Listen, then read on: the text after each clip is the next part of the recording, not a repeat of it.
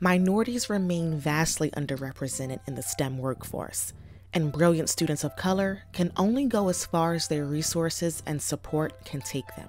LAM Research wants to change that.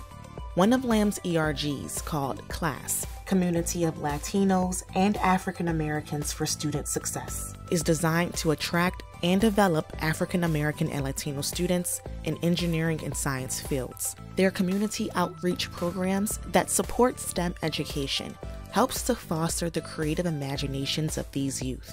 One of the things that we do here at uh, LAM Research, we partner with our African American and Latino communities.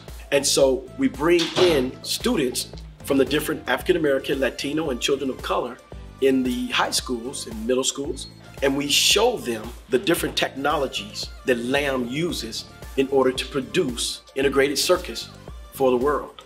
Math and science fields are more important than ever to sustain our economy. So I can command this robot to move and do certain things. Research shows that STEM occupations are growing at 24% compared to 4% for other occupations. And according to a 2014 survey, Black, Hispanic, and Native Americans make up 31% of the population, but only 11% of science and engineering jobs.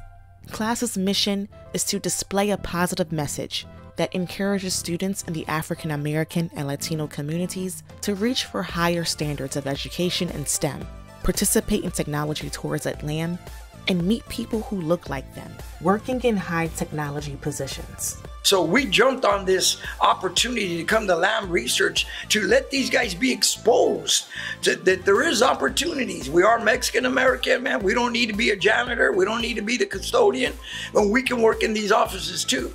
So we're thankful for all these. Thank you, LAM Research, for golden opportunity. I pray that you keep opening doors for our future young leaders.